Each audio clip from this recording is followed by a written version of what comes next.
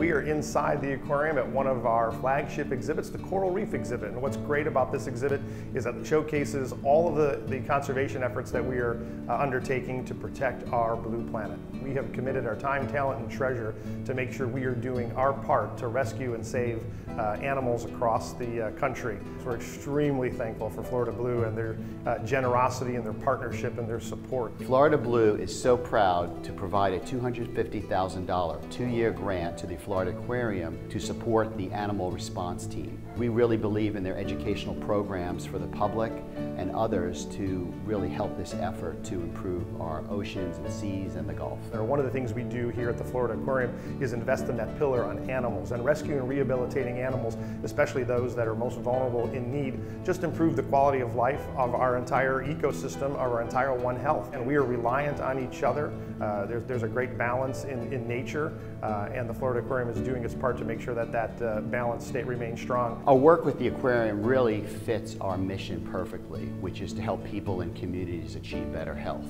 And there's a direct link between the health of our oceans and water to the health of the community and us as individuals. A lot of people don't realize that there are many um, cures and medications that have come out of the sea. It's a great resource for us to have these wonderful seas with great marine life and we really need to protect it because it's protecting us. One of the things that Florida Blue has, is allowing us to do is actually to think out of the box, to be able to look at opportunities that uh, possibly can allow us to expand our rescue and rehabilitation programs. We look to the future of where we want to go. Um, our needs are growing uh, to protect and restore our blue planet and this will give us an opportunity to be able to do more uh, on behalf of our uh, ecosystem and our blue planet.